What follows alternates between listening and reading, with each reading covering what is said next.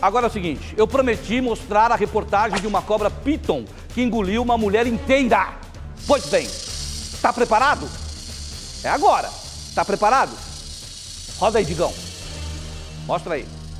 É impressionante. O cadáver de uma indonésia foi encontrado intacto dentro da cobra de 7 metros, Brasil.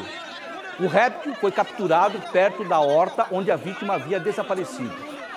Os moradores desconfiaram que a cobra tivesse engolido a mulher.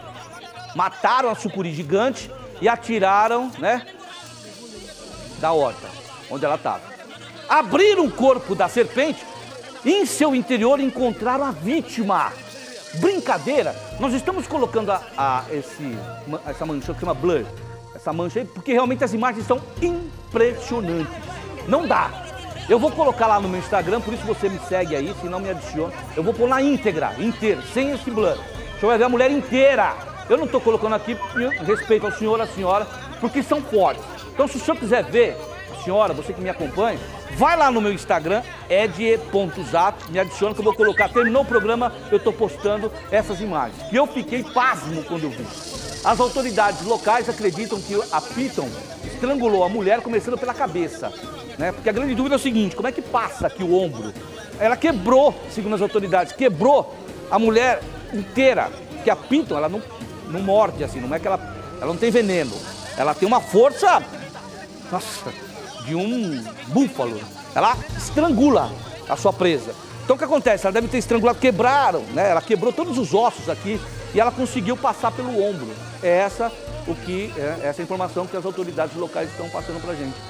A cobra estava a cerca de 30 metros dos sapatos e do facão, porque ela trabalhava ali na horta, de Watiba, que é o nome da vítima. Watiba, 54 anos. A horta onde ela trabalhava fica ao pé da falésia rochosa onde vivem essas cobras. Essa é a informação que o Digão está me passando agora. Que coisa, hein, Digão?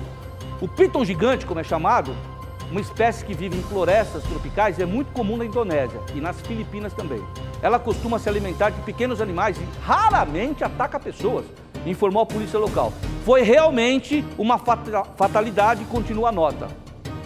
A gente optou em colocar esse blur, estou dizendo, em função da imagem forte.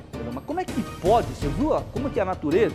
E a cobra, ela só come quando ela está com fome. A piton assim, ela não ataca como eu disse, qualquer bicho ataca se sentir ameaçado, se tiver com fome ou se está invadindo o território dele. É só isso. Então, quer dizer, uma piton dessa, quando ela come um bicho grande, ela fica aí meses sem comer. A vítima deu um azar danado, acho que a cobra não tinha comido, né, nesse período aí. E aí, o que acontece? Ela atacou a vítima e estrangulou e comeu.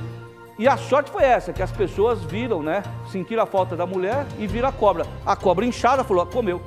Foram lá abrir, mataram infelizmente a cobra, não tinha outro jeito, para constatar isso aí. Que coisa, hein? Fiquei chocado. Fiquei chocado. Então já sabe, né? Quer ver a imagem inteira? Lá no meu Instagram, ed.zap.